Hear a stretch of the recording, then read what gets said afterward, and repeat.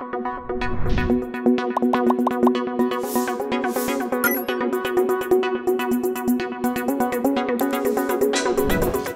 is Justin, I'm Riri, and welcome to the Anthology Sessions. For the next few days, we will be sitting down with architects, designers, and educators in a short exchange of ideas about architecture and our cities. We are inviting everyone to join in on the live questions. We're going to answer them on the spot and everything. So for our first guest today, Justin, please introduce him. Uh, he graduated from National University of Singapore with a degree in urban design. Uh, he's a principal architect at WTA uh, Architecture Design Studio, and he's the festival founder of Anthology. So here we welcome architect William Ti. Hi, everyone. Our, our live studio audience. So here to talk about social architecture and the emergency quarantine facilities and Horizon Manila Master Plan. Again, we'd like everyone to ask questions throughout the session and we'll answer them on the spot. So first, let's talk about social architecture. Yeah, so you know, our office has always been focused about advocating for social architecture. Um, we really believe that architecture must go beyond, you know, just building structures um, and finding spaces for everyone, but rather we have to adapt a social aspect, you know, to everything that we do, especially in mega cities like Metro Manila, where we are seeing, you know, um, densities that have never been seen before. Um, we feel like architecture must adapt this aspect where it tries to connect everyone. Um, that architecture is, you know, kind of like the keystone in terms of how we build our communities. Um, architecture really is what makes up our city. It's what makes our built environment. And every piece of architecture must contribute to the city. So we look at, you know, planning not just as a master plan. We look at it as like every individual building counts and especially social infrastructure because that's what really brings us all together. Okay, so yeah, like you said, social architecture has always been almost like a bedrock of the office's work, and I think throughout the years it has been a constant, uh, like a factor to all our designs, but also it's also been constantly changing through all our projects. Um, what's interesting this year was that we have two very different uh, projects at different scales. We have a Horizon, which is a master plan, and we have our quarantine facilities, which is a sm- almost as small as a house. And it's interesting how archi- social architecture, our philosophy, kind of lives on in these two different, two ends of the spectrum. So what we're trying to reimagine is that you know um, it's not about individual buildings or like how big a building is. You know whether it's a piece of public infrastructure, whether it's an institutional building or even a private house. We feel like you know every typology you know um, can actually help bring us all together. Even residences, you know. Um, for example, like what we're trying to do here with 12 blocks, you know, um, we're trying to change, you know, the landscape of Little Baguio and San Juan, and we're trying to, you know, remove, you know, um, fences, you know, um, these long lines of fences on the ground plane. We're trying to keep, you know, the ground plane alive. We're trying to build ground activity, and we feel like this is a good alternative. So, you know, it, it's not really the typology per se or the scale of the project. Um, we feel like any form of architecture must take on a social aspect. Okay, we have these models in front of us now, and I guess we can talk about how we showed social architecture through these projects. Let's start with the smallest one, which would be the Saint Scholastica Church. Yeah, so this project um, is in northern Samar. And when we're looking at this project, when you first arrive there, um, it's a very small fishing village. So all you see are, you know, um, these traditional nipa huts in the area. And we were thinking, how do you build in context? You know, we always try to observe context and intent in terms of what we do. And we thought to ourselves, you know, these roof structures are pretty interesting. So what if we just build the roof itself and remove all the walls? And so this is what it came about. And it's kind of like this geometric interpretation of the typical roof structure that you will find there. And so what happens is that, you know, you see all these uh, materials, they're ma- made of amakan. Um, this chapel was actually built by three persons. And so the idea really is that it's made of local materials. Um, it's something that, you know, the local community can build. And so, you know, even the stained glass, you know, um, that was done locally. And we feel like, you know, um, if we are to build a chapel or a church, it must always be open. And so if you can see, you can actually look through this model and it's open 24-7 to everyone. And then I think the location of this chapel being in the courtyard, you know, of a missionary hospital really serves it well. Because, you know, in times of trouble, in times of pressure and need, the church must always be open to every one of us. And so we feel like this is a place of solace, it gives shelter and, you know, shade to everyone in the community. Oh, so first of all, three only three people in sight then. Yeah. Actually, three people started this project and one of them passed away. So two people actually finished this project. And so it took them a while, but you know, they managed to finish it, you know, just the two of them. But that's an interesting and not not so common scenario. Yeah. I guess that this building was done by three people. So, but um, our social architecture in that sense is a little different because uh, more often than not we deal with a lot of density, a lot of things that are working on the city. But in this sense, it's more contextual and more like caters Yeah. to like like you said, um, it's in the middle of a hospital and it caters to the people who are in need.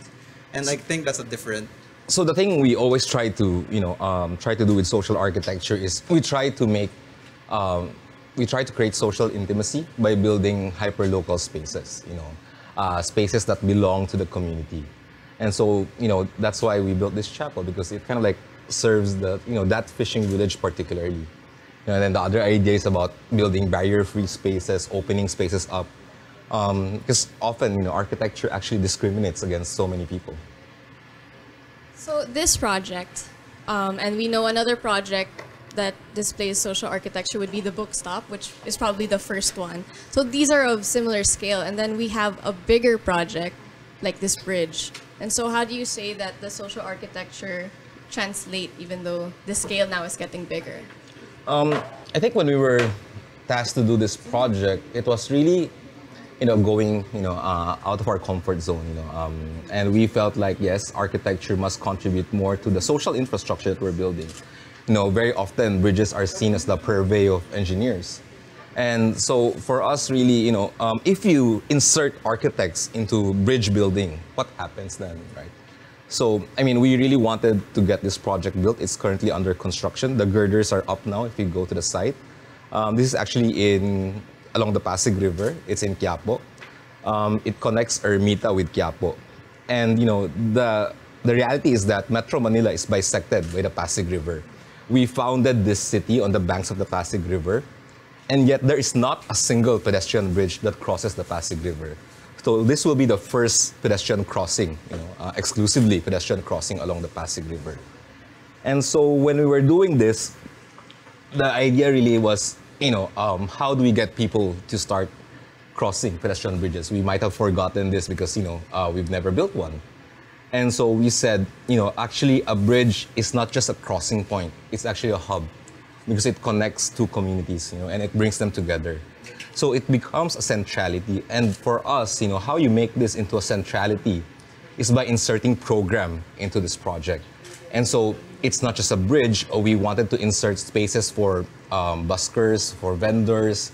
Um, we wanted people to be able to hang out here, you know, just to make them appreciate the Pasig River much more, you know, and have them, you know, kind of like a more intimate relationship with the river, and also enjoy the view that, you know, basically none of us in the city, you know, have. And so it's really something that we want to change. Uh, we want to encourage pedestrian mobility. Um, you know, one of the low-lying fruits in terms of like solving our traffic problems is to encourage pedestrianization. And so we wanted people to be able to travel from Ermita to Quiapo and vice versa without taking a jeepney, without driving their cars. It's a great space. You know, if you're a tourist, you want to enjoy, you want to see Quiapo, you want to see Ermita, you can cross this bridge. And so we want to encourage that. And by how we do so is by inserting events and programs. And this is something we learned with the Bookstop project. That for social architecture to work, you must insert programming into it. Because architecture is not just about a structure, it's also about the interaction of people. And so we actually had a schedule, like we did a year schedule of events for when this bridge opens, um, how we can get people, you know, to come here more often. I think that's a misinterpretation of what an architecture what architecture means for a for a project or for a city. Is that when you say an architect is in charge of a bit of a bridge, you often think it's its form or what it looks like. But I think that's not the case here. Like it's almost you can almost say it's just a it's a line. It's Yeah. basically a line. And but how do you see this scale up and how do you see this like change the future of the city and how a city grows, how how Manila grows specifically? Yeah, I think one of the things we were looking for when we were designing this, of course, at first we had all these architect architects' ideas about making it fantastic and all that. I mean, it's a bridge, it's a nice bridge, it's on the river, the view is fantastic, you can take great photos of it. But then we felt like, you know, being a pedestrian bridge, you know, there must be a certain sense of humility in the structure. And of course, being, you know, in the heart of Manila, you know, with iconic structures around it, we wanted it to be as simple as possible. And so it is a more human bridge, you know, especially when seen against the backdrop of, let's say, the Ayala Bridge or the Quezon Bridge. You know, the scale is more human. Um, it's something that, you know, people can understand. It, it's almost something like everyone can build. So that's really what we wanted it to feel like when we were building this bridge. Is this bridge supposed to encourage more pedestrian bridges? Do you think that's something that we want to see in the city? Is that going to change a lot? That's really the main goal we have. That's why we're kind of like actively um, going to be involved in terms of like the programming and how to operate the bridge, because we feel like if we can make this one bridge work, there is there are so many opportunities for us to build more crossings across the Pasig River. I think you know, shout out to you know every mayor in every Yeah. city, you know every city planning official here, um, or you know everyone in our community. You know, we should encourage or you know demand you know for pedestrian crossings. Um, a very small percentage of Filipinos actually own cars, right? And so you know we should push for something that is more inclusive, that's more for everyone, and hopefully, actually, hopefully you can have bike lanes, bike bridges, and all that. Um, this bridge is actually designed to accommodate uh, cycling. Um, you know, it's just a matter of like trying to talk to the surrounding structures, whether we can integrate, you know, a bicycle ramp to go up the bridge.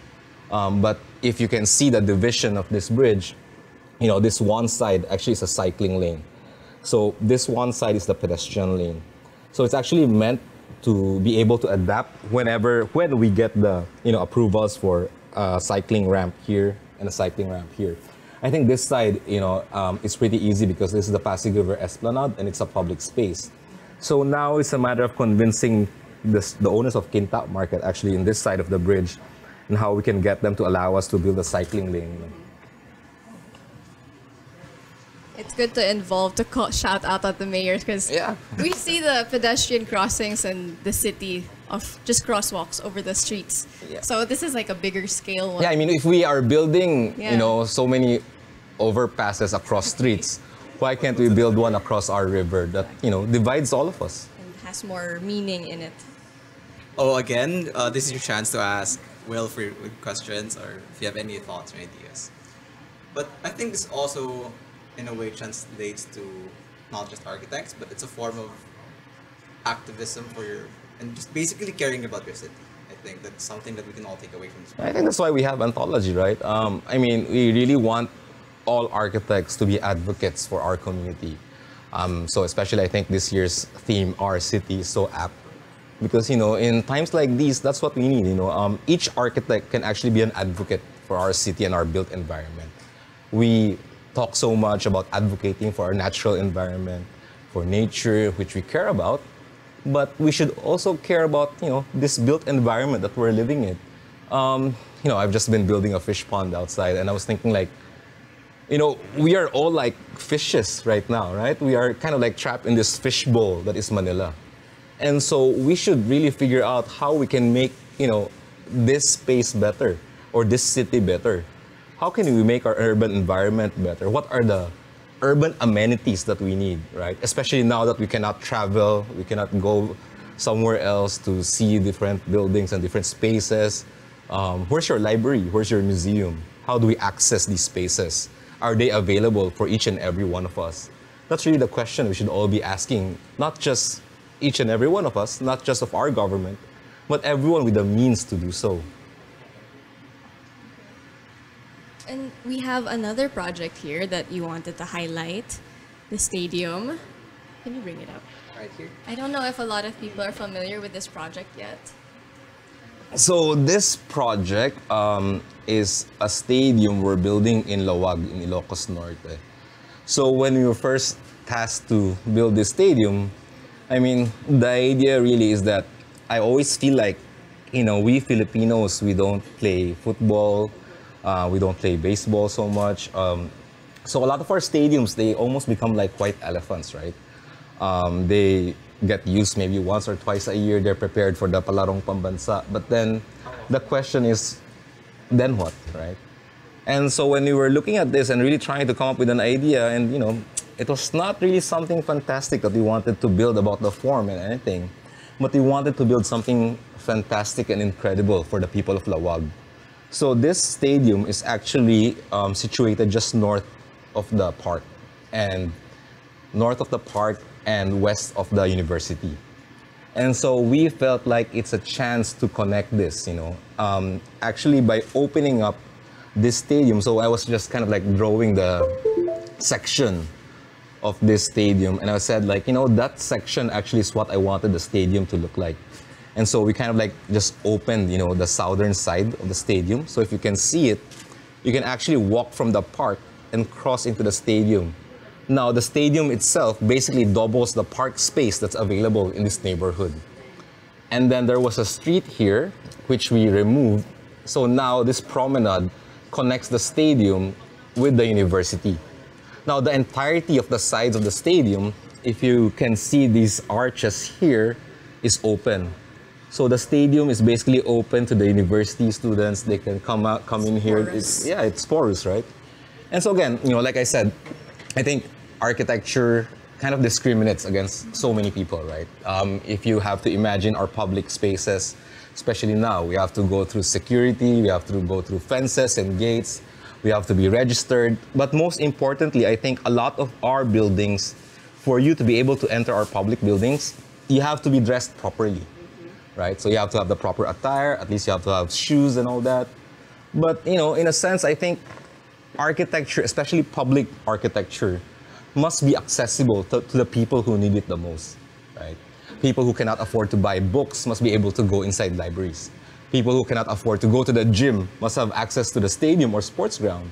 And so we wanted architecture that's open 24 7, um, open to everyone. Um, oftentimes, architecture or architects, we always talk about accessibility. And yet, a lot of our structures are not accessible to a big swath of our population. You know, um, our public infrastructure is not accessible to people who don't have maybe IDs or proper identification. We don't have a national identification card. So, you know, we don't, so if you cannot register, then you don't have an ID. Sometimes you cannot enter. If you're not dressed properly, you're not, you cannot enter. And also it discriminates against people who don't have the time. You know, with the traffic, with the crazy traffic we have in our city, it takes an hour or two to go to our public spaces. And so by making spaces more local, more accessible, then you're allowing access not just to people who don't have the means, but also the people who don't have the time. And so that's really the idea behind building barrier-free local spaces that connect with the immediate neighborhood.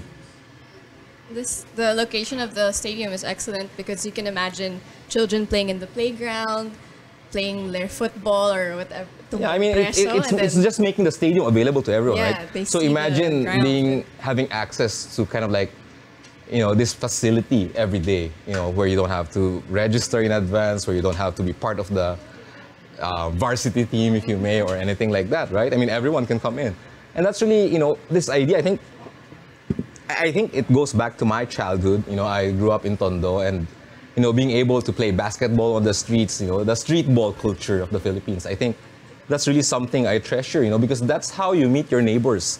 You know, you get to know the guys you play with. Um, you come from all sorts of different backgrounds, and so I feel like you know, sports space, you know, um, street ball culture must be something that we preserve, and so we want to keep opening up, you know, um, spaces like these to the public.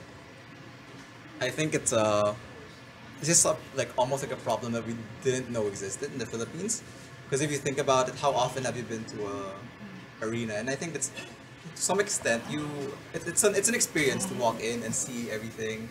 And uh, it's a shame that not everybody's had an experience. Yeah, I think every one of us who used to play basketball weekly, like us in our office, we used to. Um, you have to reserve the Yeah. the basketball court. Um, so you know all of these things, right? I think it would kind of be nice to just be able to show up, you know, and just play ball. And so that's the street ball culture that we're kind of missing now. And especially, you know, now with the pandemic and maybe the new normal, we need more open spaces.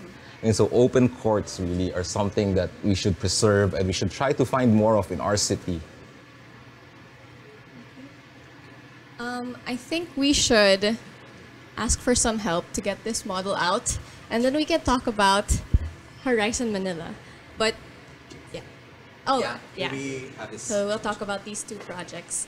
So in COVID-19 last year, this time last year, we had Anthology, and that was the last main event that we got. I think most of us got to attend before all of the lockdowns happened.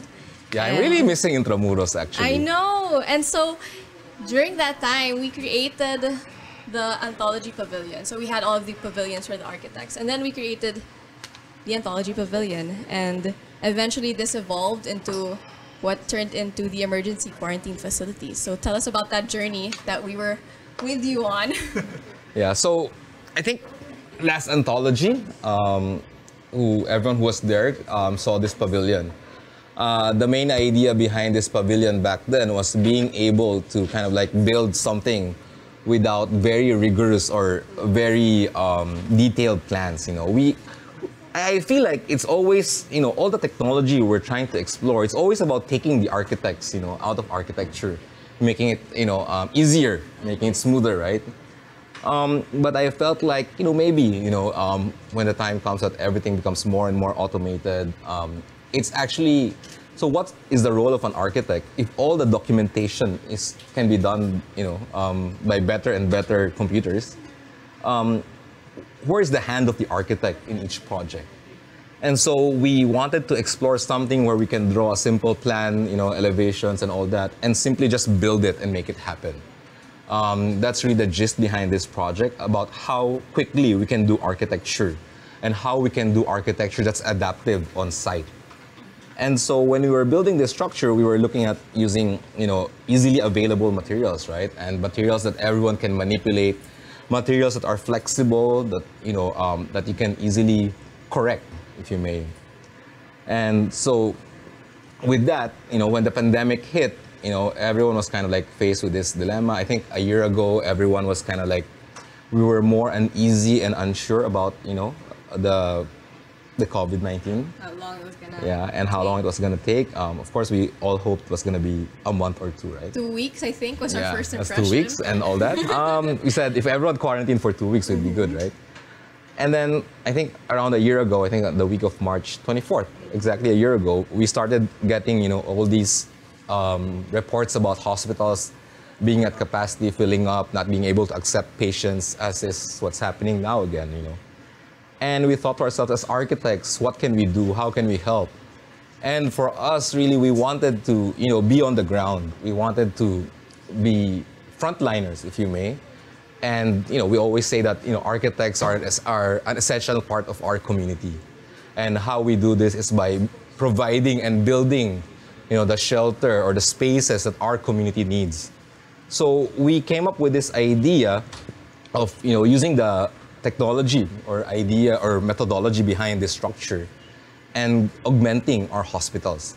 Um, you know, because the formula is there. This is something we could build in five days with 20 people, with one architect on site to kind of like adapt it to the needs of the community. And so immediately you can augment the capacity of each hospital.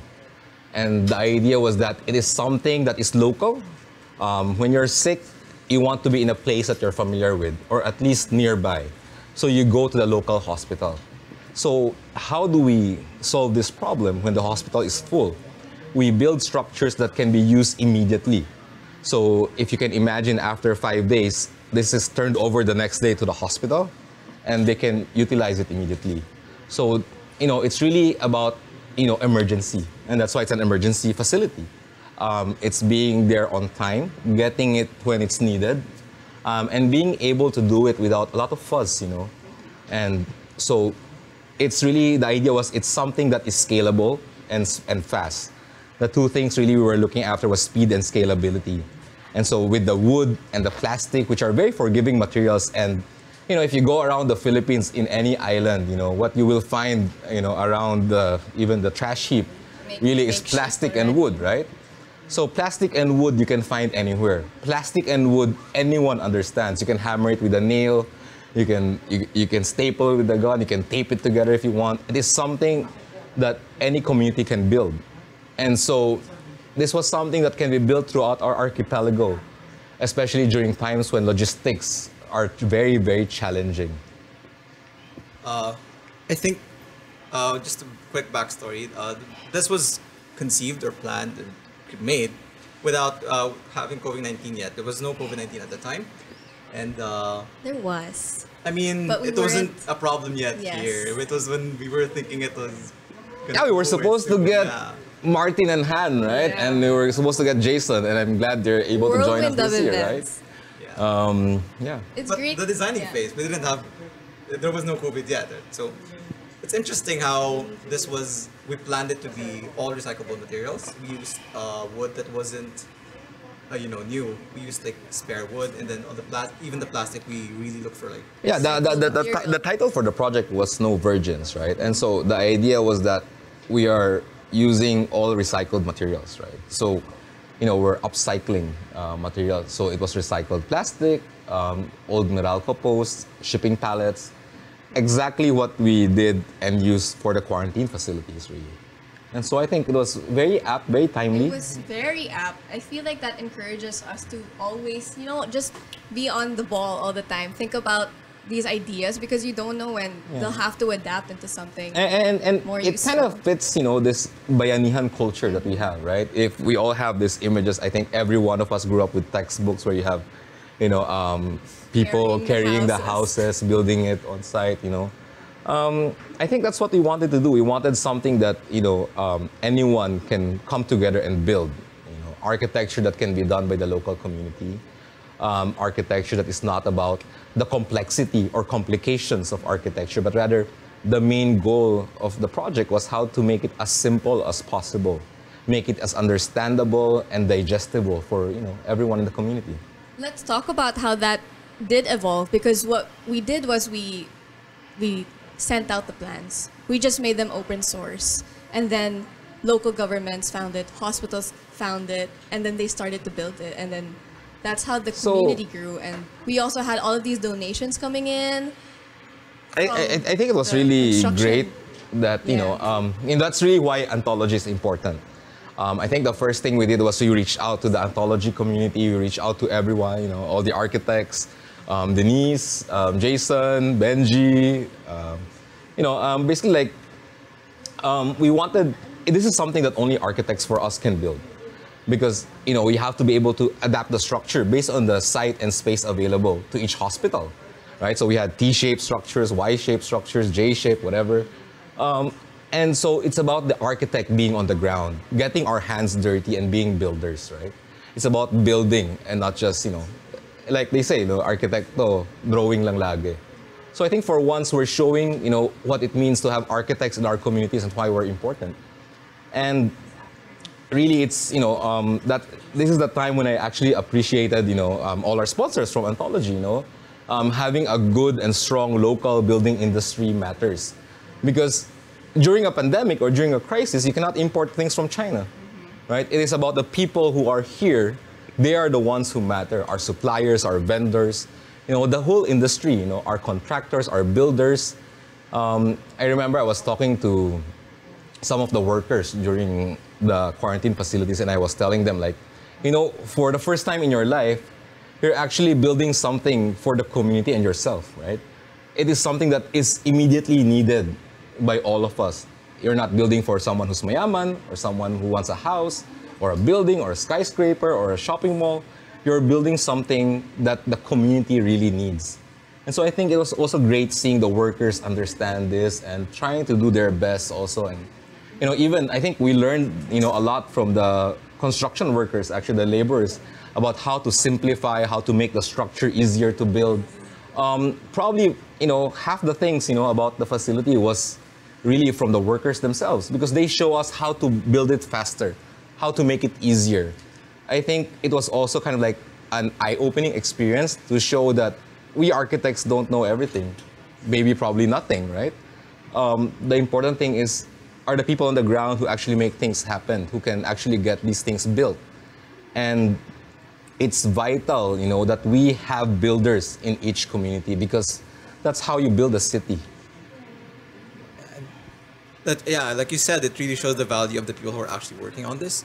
And I remember uh, seeing the photos. Like it's such a distinct and such a distinct silhouette that's very easy to identify. You know, and but the but the cool thing is that we have so many variations of the EQF. We have like different materials coming in. We have I think we had the steel frames, and it's just cool how this like form kept evolving.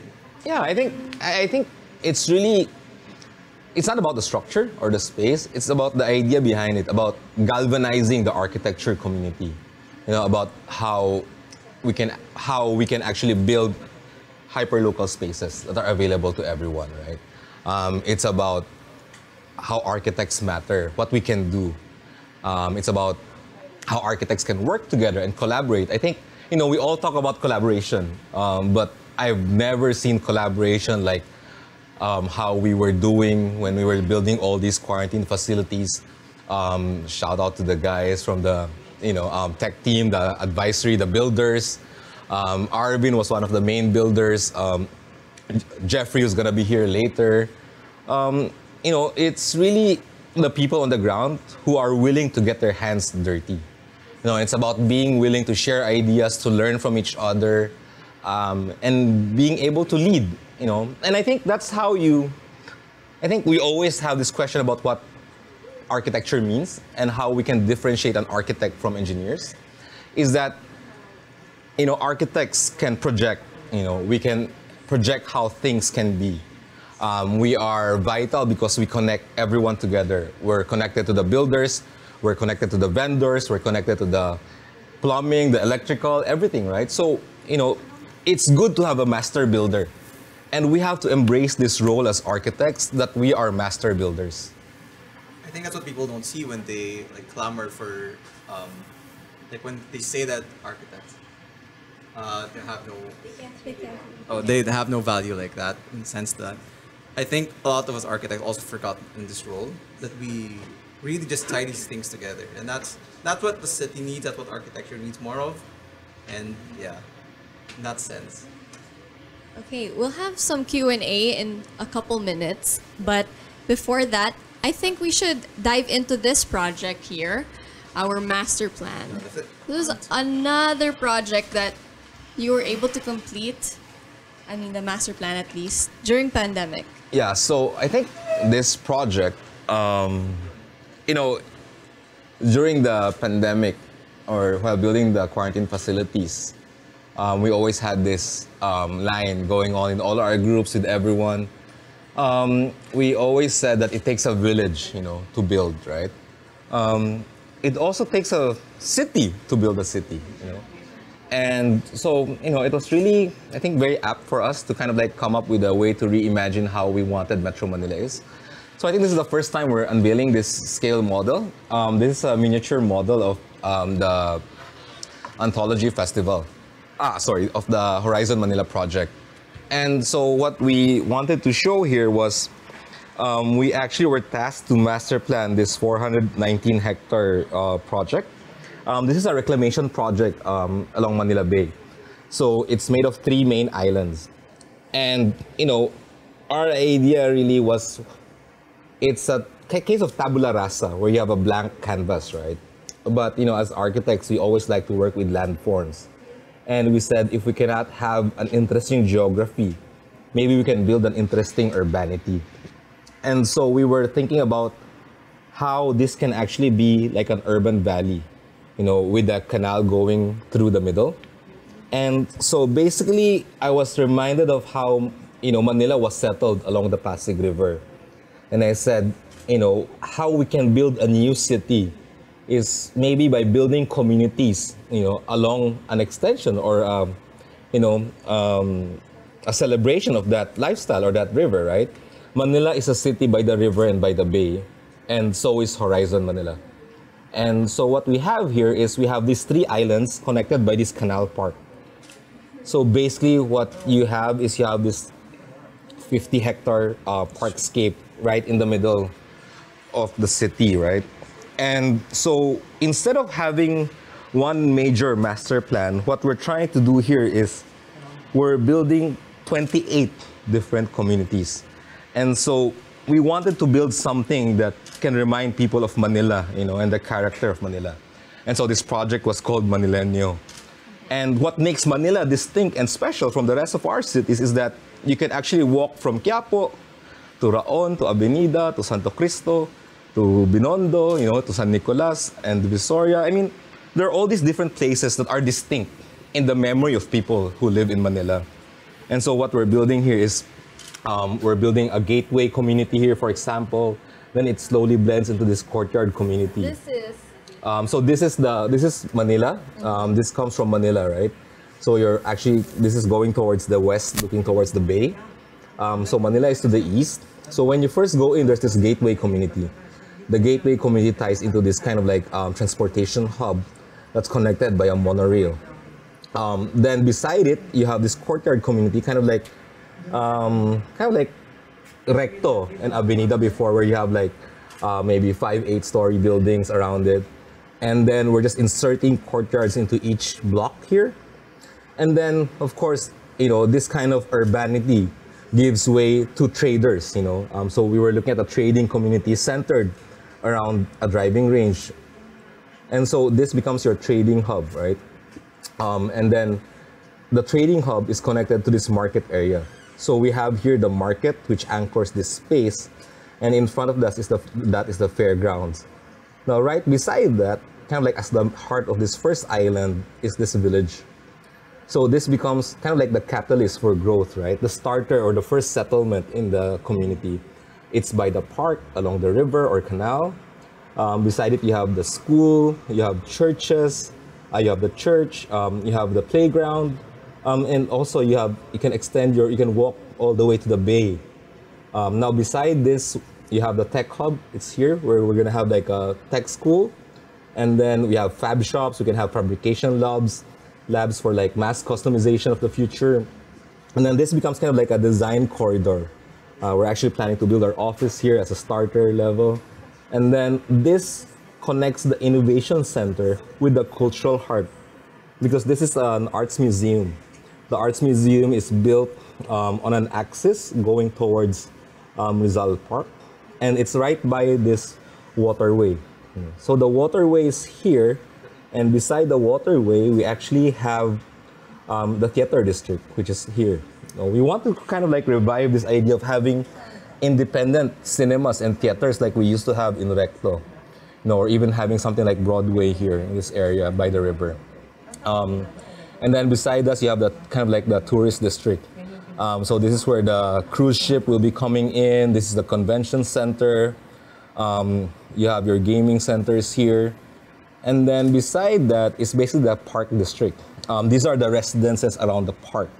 So this is the kind of like the widest stretch of park area.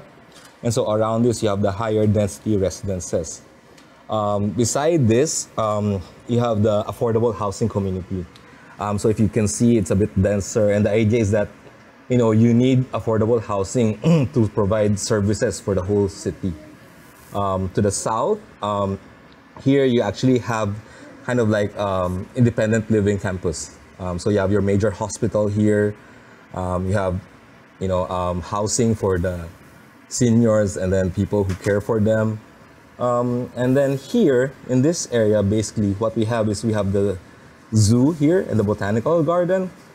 Um, and then this walkway actually is kind of like the fashion walk.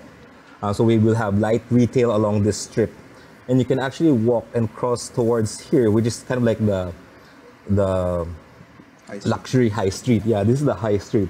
So this acts like uptown, where you have your two major hotels. And then here you have your stadium. Um, so beside the stadium, we have a street ball park, a basketball park. We actually have two of them. We wanted to revive the idea of street ball culture. And so one is here and another one here. You actually have eight courts here and 24 here, right? 24 courts here. And so the idea is that after work, you know, the people from the market, from the trading district, they can go play basketball. Same with this area because this becomes our CBD area.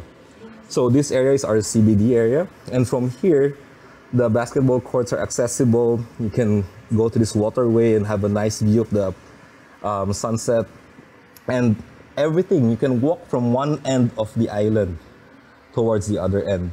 So the canal park has a parallel pedestrian walk also. So if you want to walk by the park and enjoy a leisurely walk towards the edge, you can. If you want, you know, faster pedestrian walkway, you have, and you see all these pedestrian bridges. Basically, we're building a city of bridges here, and you can see there's there are innumerable bridges all over here, and that will be kind of like the character that develops in this community. Now, this will be the main shopping area here, and then this will be the kind of like the Sunset District, um, your uptown residences, if you may, and you have the the yacht harbor here, and then you have kind of like um, house houseboats parked over here, and you have waterside residences with the water sports facilities being here.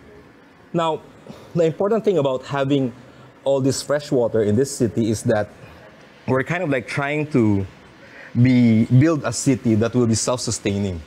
Um, so we have all these water reservoirs, and the idea is that um, all these reservoirs will not just make Horizon self-sustaining, but also be able to actually contribute back to the city. I think the main challenge of our future in terms of sustainability will be water scarcity. And so we're trying to address that here. We're trying to, there are gonna be desalination and purification plants um, here. And then this will serve as a reservoir, not just for Horizon, but for the rest of Manila. That's excellent. So, now that we've kind of talked about what Horizon is, um, can you take us back to your your process or like how you thought about it in your head?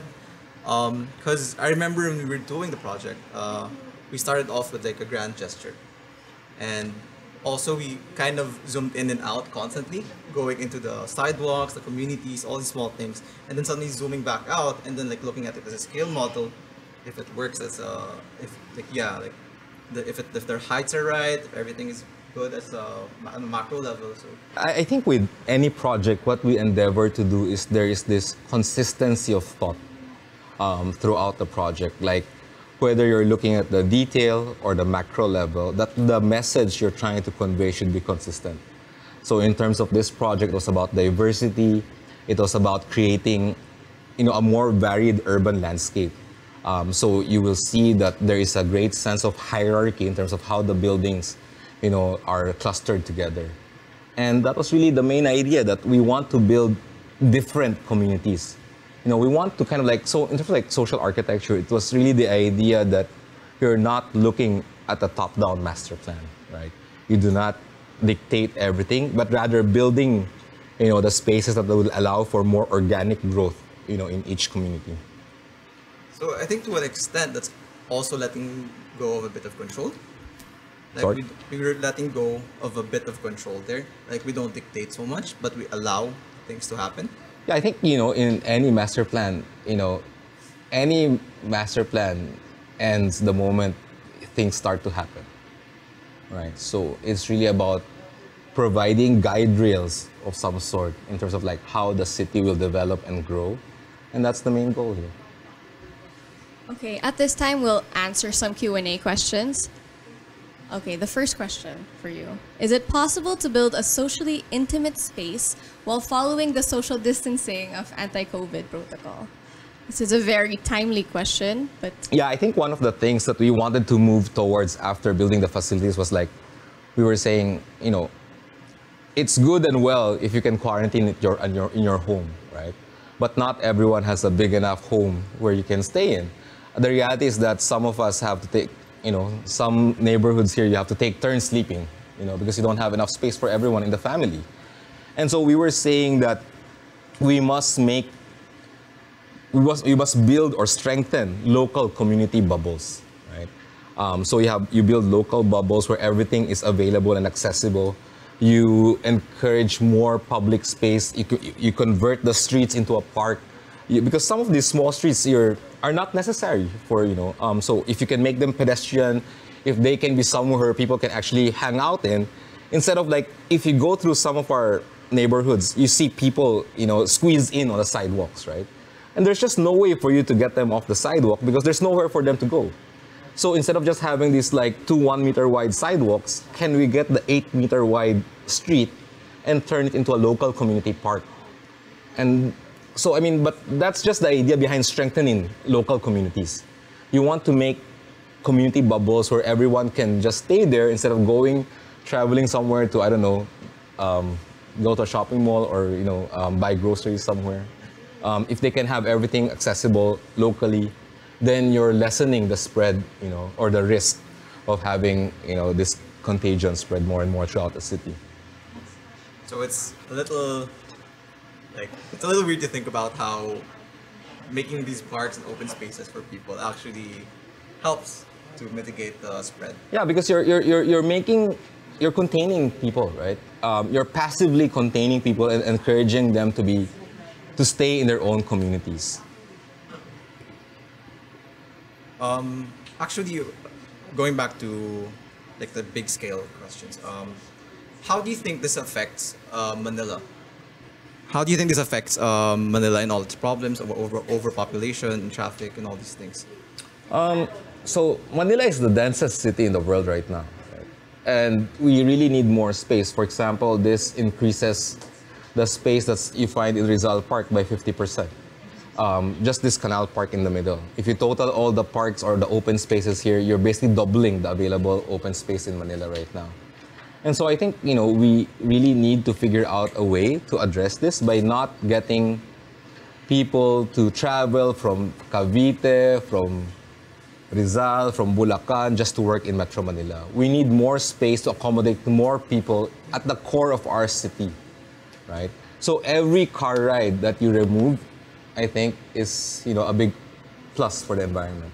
So that kind of, I guess it links into how you have the Clark Smart City being built, and so this project is a reclamation bit, bit beside Manila. So in terms of master planning, urban planning, do you think that those are ideas that contrast each- each other? Do they contradict, or I think Manila? you know every drop counts.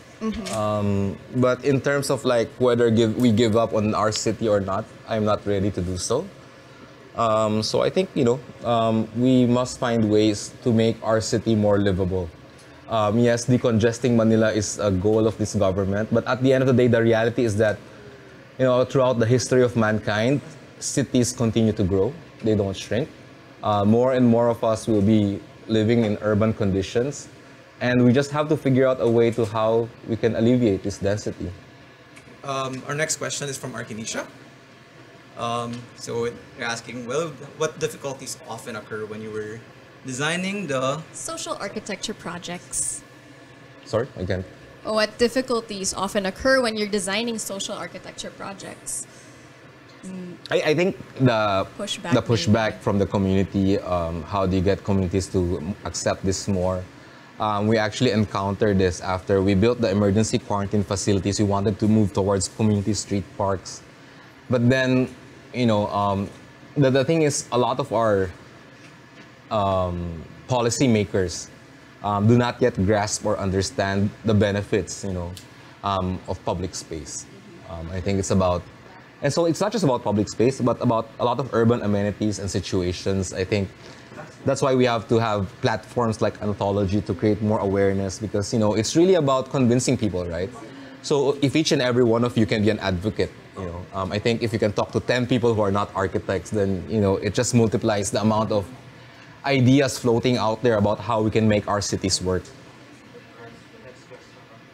Um, okay, let's talk about in Horizon, street scale level, for this development. How much did you contextualize the Philippines here? Is it in the Filipino context, or this build this project is is it globalization at its heart? Well, so what is a what is Filipino, right? That- That's always the question. And so I always like to think about Manila first because I grew up in Manila. So what is Manila? Manila is a city by the river and by the bay, right? It's a city with all the canals, you know, all the esteros that we have. And so for me, this is an opportunity to do so, right? So the urbanity or the the geography is there. Um, what else? Um, it's all about the communities, about the different, the diversity. You know, that's what makes Manila great, really. Um, it's not the buildings. Um, we have, you know, uh, we showed the skyline earlier, but it's not about the skyline or about the buildings around us. But, you know, it's about the streetscape and how they can vary. Um, so if you look at this project, a lot of it, a lot of the taller buildings are actually more clustered uh, than what you would see in uh, Western planning or the urban planning models out there. But you know, for me, the reality is that you want to create more shaded areas. We do not want wide avenues or boulevards. We want to have shaded streets with wide sidewalks. And that's really what we're trying to build here in the context of our climate. Uh, our next question is from Pahe. Um, I think we've, we've kind of touched on this, but just generally, um, the question is, the reimagined community city is great, but how about the existing settlement problems in Metro Manila, especially in informal settlements? How will social architecture address, suggest solutions, provide opportunity to your urban poor, improve the current situation and not just remove them? Um, the, I think the, the problem with the settlement problems in Manila, I think, is brought about by density, firstly. And so the inaccessibility to a lot of services, right? So if you have people who cannot afford better living conditions or better homes for themselves, maybe we at least should provide the public infrastructure to allow them to do so, right? Uh, for example, if they can have access to libraries, they can learn.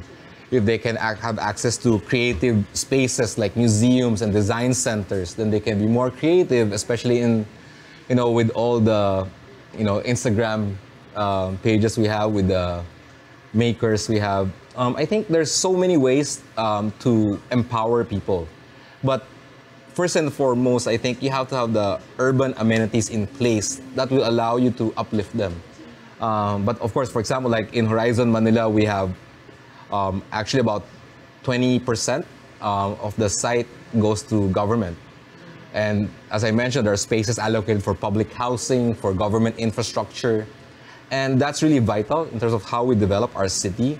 So, for example, in these three islands, each island will have space um, for public housing.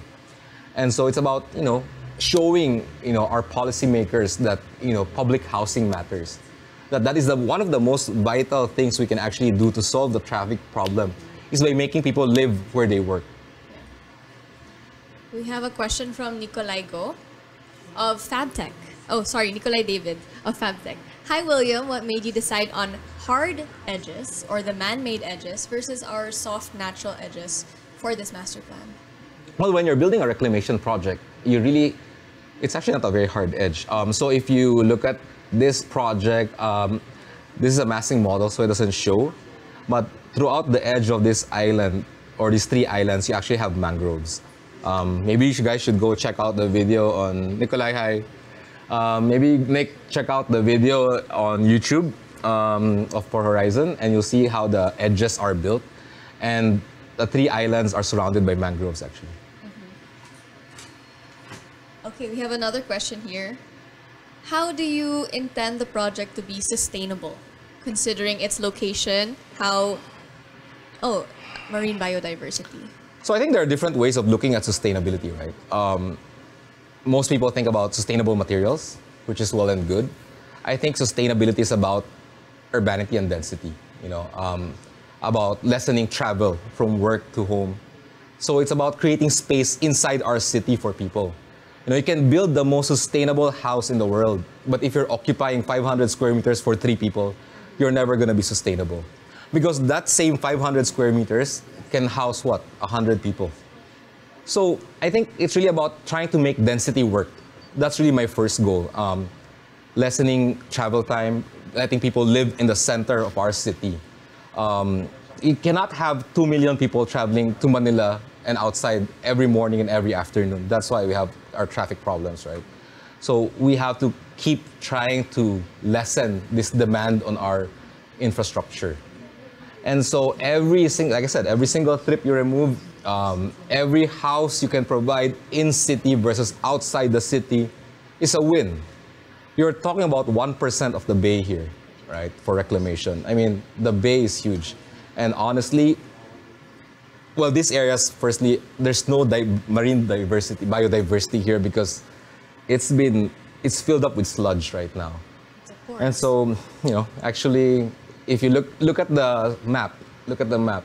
Manila Bay is bigger than Metro Manila, and so you can actually check out what four hectare, 400 hectares actually means, um, and how big a space we're occupying. Putting In scale, I think the size is about the same as the UP Diliman property. Yeah. 420 hectares or so. That's a big scale. We have another question here from Facebook. Um, from Melvin. Melvin Miguel. So we're saying climate change is staring us up front, and um, I think the more the more important question here is that um, how are we addressing the rise of the sea level, given its reclamation project? Physically, this project is actually higher than the current level of Manila. Um, if you're lo- talking about typhoons, typhoons actually come from the east. That's why Manila is where it is. If you look at the map of our region, that's why the eastern side of the Sierra Madres are empty. Right? So the typhoons do not, do not come from the west, they come from the east. Um, next, I think the idea like um, we're trying to provide fresh water, which is what we need. Um, we haven't built a dam in I don't know how long for the city, and you know we've all been experiencing water shortage as really a major problem, despite you know our city being blessed with you know the climate we have with the regular rainfall, and so it's always about collecting rainwater. Um, secondly, Horizon Manila will have a green plot ratio of one, meaning we'll have 419 hectares of green space. Um, so you're actually increasing green spaces for wildlife or birds. Um, that's why you can actually cross these three islands from one end to the other, um, walking in parks. And so if you look at the streetscape, um, maybe if you can find the street sections and all that, all the streets are tree lined. Um, it's about having these like crossings for all the wildlife also. And our last question for the sessions. Oh, it comes back to our pedestrian bridge earlier. It says, How will the bridge be pedestrian friendly only and not let any other vehicles, such as motorcycles, I think, be able to use it? How is that going to be safe from crime? And how will it be safe for the street vendors? Um, I think the question actually, they didn't understand that the street vendors are allowed on the bridge, but So I'm not gonna make any place safe from street vendors. I think they're what makes our streets come alive. Yeah. You know, um, at the end of the day, we just have to find, we just have to kind of like alleviate this struggle between pedestrians and vendors maybe. And actually, for me, what you remove are the cars and vehicles. So you retain the vendors, you retain the pedestrians. Um, cars have no way of going up the bridge because you need to go upstairs, and cars will not fit. It's a pedestrian bridge. Um, you cannot get a car up on a pedestrian bridge um, unless I don't know. It a It- pedestrian it's a bridge. pedestrian bridge. At least cars cannot go upstairs. Yeah. Um, yeah. So thanks for that. Okay. Um, before we close out our session with you, um, maybe you can give us some final thoughts on, I guess, working on the master plan. You're an architect primarily, but the fact that you had this opportunity to work on this master plan of this scale, tell us about the importance of it for our city and in the future for architecture for you. I, I think the scale of what we do is not dictated by our profession. Um, I think architects are creative individuals. We paint, we draw, we sketch, we make things. Um, you know, it, it's really about the thinking. You know, about how you want to build something um, better, right? And for us, really, you know, the opportunity to plan such a big part of our city, you know, um, we only have one goal basically. We, we just want to build a better tomorrow for everyone. And that's really what matters for us. Um, there's no main agenda besides that. Um, and, you know, we're blessed to be working with people who are actually understanding of that, that they do actually want to build a better city. And so I, for me, it's a great opportunity, really. Um, and it's something I've been embracing and looking forward to. I think we're all looking forward to this development coming into Soon. fruition. Soon! Soon, yeah. It's gonna start this year. Yeah, the timeline is closing in on us. All right, so let's just thank you, William, for joining us. Thank you everyone for asking questions, by the way. Thank you for joining us in the questions. And join us again tomorrow. We will be speaking with Jason Buensalido. He will be speaking about Casa Uccello. And we'll also be talking to international professors where they'll talk about architecture, teaching architecture in the time of pandemic. And so thanks everyone for coming out. Enjoy anthology!